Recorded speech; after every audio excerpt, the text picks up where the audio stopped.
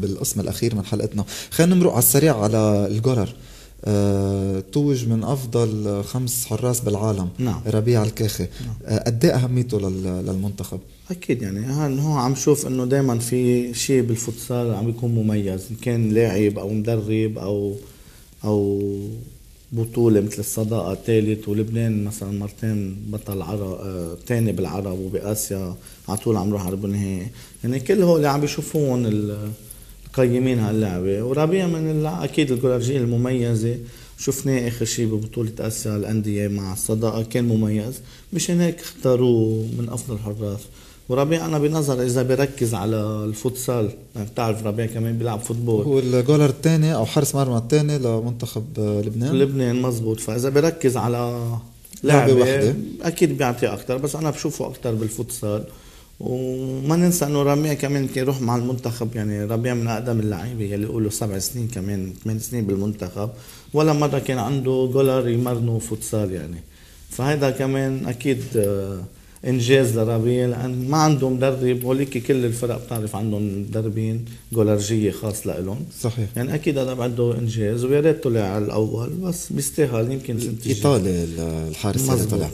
طيب آه خلينا نحكي على السريع على آه ال young talents يعني المواهب الصغيرة بمنتخب لبنان.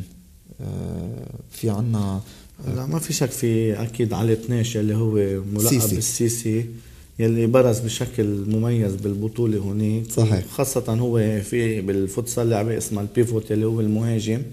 فسيسي كان من الأشخاص يلي قدر آه، عبى مكانه يعني. يفهم التركيبة اللي بده إياها المدرب وجسمه بيساعده.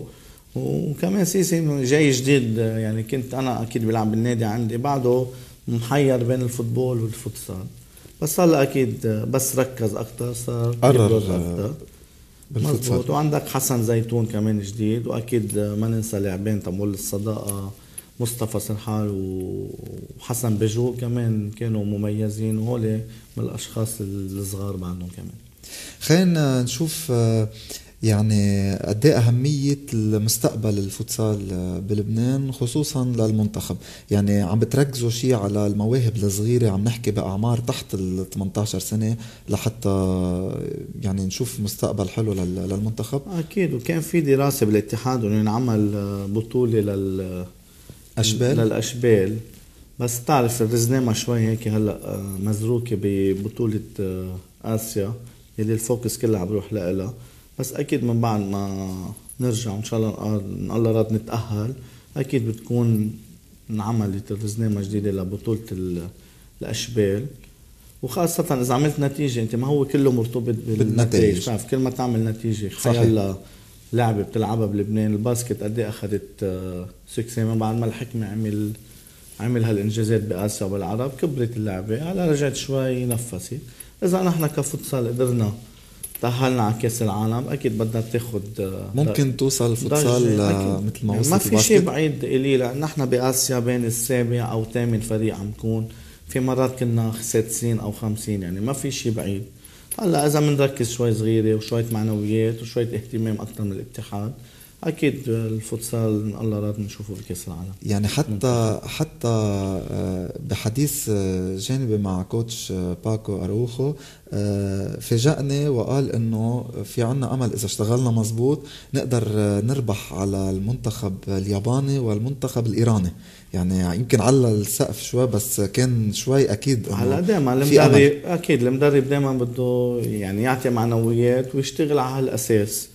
وإن شاء الله ما مستحيل يعني؟ ما في شيء مستحيل يعني. أنت بس تلعب ضد هالمنتخبات وتكون أنت قريب منها. ما في شيء مستحيل. مثل أنا بعطيك اكزامبل بال 2010 لعبنا بأوزبكستان بطولة.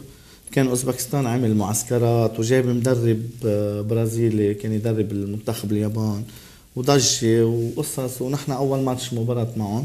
نزلنا 1-0 2-0 كان في أغلاط كان دفاعية. ثاني شوط نزلنا لعبنا عليهم للأوزبكستانية. أول ثلاث دقائق بيطلب time out المدرب. 2 1 كنا انفردنا خمس مرات وشي أربع عارضات الشباب. آه، صار في غلط الحكم لازم يصفر سادس فاول لنا تنشوت ما حسبوا الحكم تعرف أرض الجمهور وعامل نعم. الجمهور تأثير, تأثير بيأثر عطى ما عطى فاول قلب هيثم عطوه بالأرض عملوا counter attack جابوا ثالث جول يعني لو هيدا 2 2 مع فريق اوزبكستان اللي هو رابع باسيا أو ثالث باسيا نتيجة كثير كبيرة. فما في شيء بعيد بس أهم شيء التحضير يكون مزبوط واللعيبة يلتزموا. نعم وأكيد آه، إن شاء الله يعني لا إن شاء الله خير. ما فينا أكيد بدنا نذكر أستاذ سيمون دويهي اللي هو أكيد لجنة عليا ورئيس لجنة الفوتسال يلي عن جد عم بيظهر هو up to date على اللعبة. يعني وكل ما شو ما نطلب عم بي عم بيأمن عم بيأمن طيب خلينا نرجع شوي على المواهب الصغيرة. آه، بالصيفية آه، كنا عاملين futsal camp آه، يعني عم نغير شوي من من المنتخب للمواهب الصغيرة. كنا عاملين futsal camp بمدرسة الأنطونية بغزير نعم. و coach دوري كان موجود لحتى يدعمنا ويعطي آه، تمرينات للشباب. خلينا نشوف شوية آه، صور عن ال futsal summer camp 2011 يلي كان عم ينعمل آه، بمدرسة الأنطونية. coach دوري بتتذكر؟ أكيد. كيف كان ال camp هيك النهار؟ أكيد حلو. في أكيد لاعبين كانوا مميزين.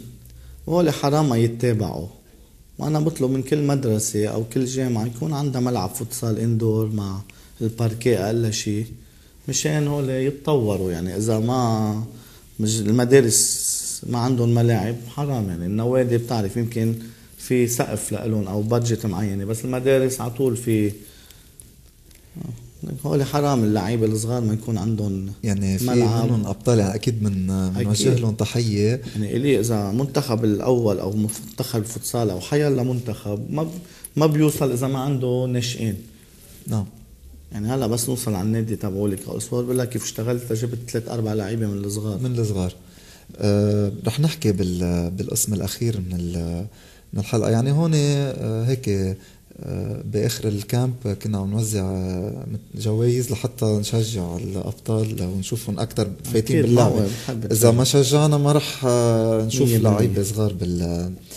طيب خلينا ننتقل لحتى نشوف نرجع على بطولة الجامعات. أكيد ال UFL Round up تختص ببطولة الجامعات. بما أنه اليوم coach دوري معنا بنستفيد لنحكي عن المنتخب اللبناني وعن بطولة لبنان. خلينا نشوف results تبع الأسبوع السابع المرحلة الأخيرة من من مرحلة الذهاب آه، كانت آه، عم تنلعب فيها آه، ثلاث مباريات ومباراة مؤجلة. USJ عم تربح 3 2 على الايزاك مباراة close game كانت بالدقائق الأخيرة قدر ال USJ يتقدم. أنطونية وال LAU Byblos مباراة مؤجلة. ال LAU بيروت عم يخسر قدام البلامند 7 9 والمباراة اللي عم نحكي عنها اليوم AUB وهايكازيان مباراة ما بدي أقول مفاجئة بس آه، يعني لازم نحكي عنها. 4 2 فوز كتير كبير لل AUB على الهايكازيان schedule آه، قوي نتائج قوية. coach نحن آه، رح نتوقف دقائق مع الإعلان. من بعد الإعلان رح ننتقل لنحضر مقتطفات من مباراة ال AUB والهايكازيان ونحكي عنهم. دقائق ونرجع معكم.